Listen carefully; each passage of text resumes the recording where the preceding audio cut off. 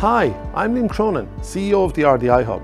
We are delighted to announce the RDI Hub has been selected, along with Dogpatch Labs, Portershed and Republic of Work, to run the NDRC Ireland Pre-Accelerator programme.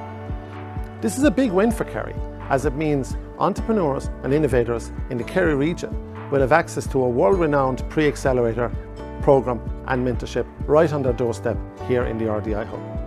The supports will include access to investors, advisors, researchers and technologists. We will be rolling out the NDRC programme in Q1 of next year and to find out more, please sign up for our newsletter.